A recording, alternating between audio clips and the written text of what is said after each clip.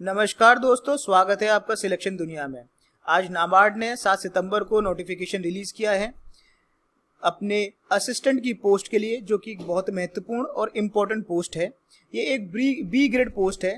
Total vacancy release की गई है 117 आज हम इस सेशन में डिटेल डिस्कशन करेंगे इस नोटिफिकेशन के बारे में पोस्ट के बारे में and all the each detail कौन एलिजिबल है, कौन नहीं है what are the exam pattern each and everything we will discuss in this session let's start important dates क्या है? नाबार्ड का नोटिफिकेशन सात तारीख को रिलीज़ हुआ है।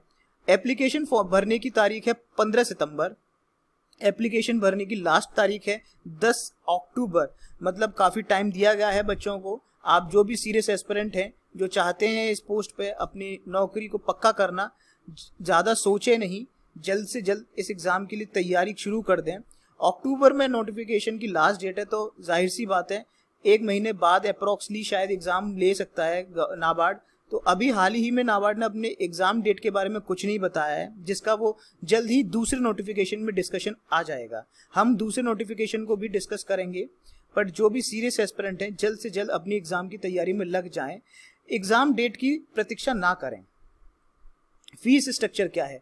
जनरल ओबीसी ईडब्ल्यूएस इन सब की फ़ीस है चार सौ पचास रुपये और S C S T physically handicapped E W S ex serviceman इन सब की फ़ीस है पचास रुपये हालाँकि फ़ीस का ज़्यादा अंतर नहीं है, ज़्यादा एक्सपेंसिव नहीं है तो आप लोग ज़्यादा सोचें ना एग्ज़ाम फ़ीस के बारे में। एक अच्छी पोस्ट के लिए आप जा रहे हैं फ़ीस के बारे में ना सोचें, जल्द से जल्द एग्ज़ाम के बारे में सोचें एग्ज़ाम के पैटर्न को देख के एग्ज़ाम की प्रिपरेशन में लग जाइए।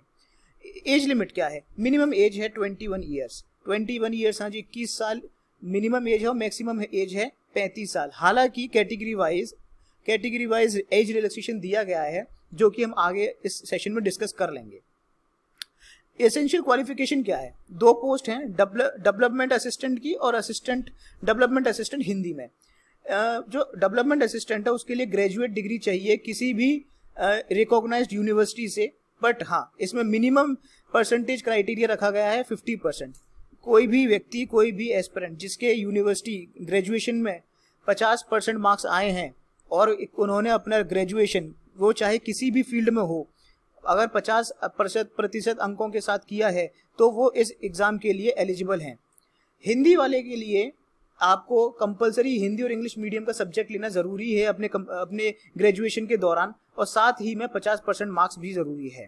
ये एक बहुत इंपॉर्टेंट क्राइटेरिया है जिससे काफ़ी लोग इस एग्ज़ाम के अलग हो सकते हैं। तो जिस जिन एग्ज़ाम एस्पिरेंट्स ने अपने ग्रेजुएशन में हिंदी और इंग्लिश को सब्जेक्ट लिया गया है, वो पक्का से इस एग्ज़ाम के एग्ज़ाम को भरें और एग्ज़ाम की तैयारी करें। ये बहुत सुनहरा मौका है उन सबके लिए। कैटेगरी वाइज जो कैटेगरी वाइज जो पोस्ट के लिए सीट रिज़र्व की गई हैं, वो हम देख लेते हैं। डेवलपमेंट असिस्टेंट के लिए हैं अदर यू आर मतलब general category S C S C twenty one S T eleven O B C forty six E W S fifteen total है वन सेवेंटी थ्री और डेवलपमेंट असिस्टेंट हिंदी के लिए है तीन। एस सी के लिए कोई पोस्ट रिज़र्व नहीं है, इसका मतलब एस सी कैंडिडेट इस इस पोस्ट पे अप्लाई नहीं कर पाएँगे। एस टी के लिए वन सीट रिज़र्व है। हालाँकि एससी कैंडिडेट और जो जो भी कैंडिडेट इस पोस्ट पे नहीं है, वो जनरल कैटेगरी में फाइट कर सकते हैं। टोटल पोस्ट जाती हैं चार। हम जो महत्वपूर्ण है, जो इस एग्ज़ाम को पास कराने के लिए सबसे ज़्यादा महत्वपूर्ण है, वो एग्ज़ाम पैटर्न जब तक हमें एग्ज़ाम के पैटर्न के बारे में नहीं पता होगा एग्ज़ाम कैसे दिया जाएगा एग्ज़ाम में क्या क्या आएगा कौन कौन से सब्जेक्ट्स आएँगे, कितने मार्क्स आएँगे, ये बहुत इंपॉर्टेंट है। हम ऐसे ही बिना एग्ज़ाम की प्रिपरेशन और बिना एग्ज़ाम के सिलेबस को जाने एग्ज़ाम को फेस नहीं कर सकते। इसलिए एग्ज़ाम का पैटर्न जानना बहुत महत्वपूर्ण है। सो दोस्तों एग्ज़ाम तीन चरणों में होगा, जैसे दिया गया है प्री मेन्स और इंटरव्यू हालाँकि बी ग्रेड की पोस्ट है तो ज़ाहिर सी बात है, काफ़ी टफ एग्ज़ाम होगा टफ कंपटीशन होगा, और एग्ज़ाम इजी नहीं आने वाला है। ऑनलाइन मोड में एग्ज़ाम होगा ऑब्जेक्टिव टाइप के क्वेश्चन होंगे, दोनों हिंदी और इंग्लिश में लैंग्वेज में दिया जाएगा। हर एक क्वेश्चन का एक मार्क्स तय होगा, और अगर नेगेटिव मार्किंग के लिए वन फोर्थ मार्क डिडक्ट किए जाएँगे। एज यूजल ज़्यादातर सारे एग्ज़ाम्स में ऐसा ही पैटर्न होता है, कुछ ज़्यादा अलग नहीं है, आप लोगों इस पैटर्न से फेमिलर हैं। हम देखते हैं कौन कौन से सब्जेक्ट्स आने वाले हैं। इंग्लिश लैंग्वेज आएगा, चालीस मार्क्स का, चालीस ही मार्क्स होंगे, चालीस क्वेश्चन होंगे इसके। मैथ्स, यानी क्वांटिटिव एप्टीट्यूड आएगा तीस मार्क्स का, और उसके क्वेश्चंस भी तीस होंगे। जनरल एबिलिटी मतलब रीजनिंग रीजनिंग आएगी, आपकी तीस क्वेश्चन होंगे और उसके भी तीस मार्क्स तय होंगे। टोटल अपने सौ क्वेश्चन हैं, सौ मार्क्स हैं, जो प्री के लिए हैं।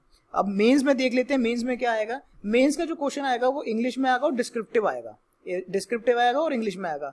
ये आपकी टेस्ट करेगा रीजनिंग को जिसके तीस क्वेश्चन तीस मार्क्स होंगे और आपके क्वांटिटिव एप्टीट्यूड को करेगा तीस क्वेश्चन तीस marks general awareness with agriculture rural development इसमें स्पेशल टॉपिक्स हैं जो इंपॉर्टेंट हैं जो आने वाले हैं।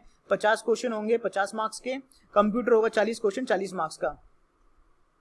इसमें एक पे, पेपर जो डिस्क्रिप्टिव है वो इंग्लिश का पेपर है जो डिस्क्रिप्टिव है। बाकी ये जो सेशन है जो नीचे वाला सेशन है वो एमसीक्यू बेस्ड होगा। ये इंग्लिश वाला पेपर जो है वो डिस्क्रिप्टिव है। इसमें आएगा ऐसे precis writing report report letter writing जो कि 50 मार्क्स का है। हालाँकि आप देख सकते हैं, इसमें जनरल अवेयरनेस और इंग्लिश ये दो काफ़ी गेम चेंजिंग सब्जेक्ट हैं, जिन, जिस स्टूडेंट्स की इन दोनों सब्जेक्ट पर पकड़ होगी, वो इजीली इस एग्ज़ाम को क्लियर कर सकता है। हम आपसे साथ जुड़े रहेंगे, ऐसे ही और नोटिफिकेशंस और इम्पोर्टेंट गवर्नमेंट नोट पोस्ट के बारे में हम आपको डेली बेसिस पर नोटिफिकेशन के द्वारा डिस्कशन देते रहेंगे। आप हमसे जुड़े रहिए। धन्यवाद दोस्तों। Good bye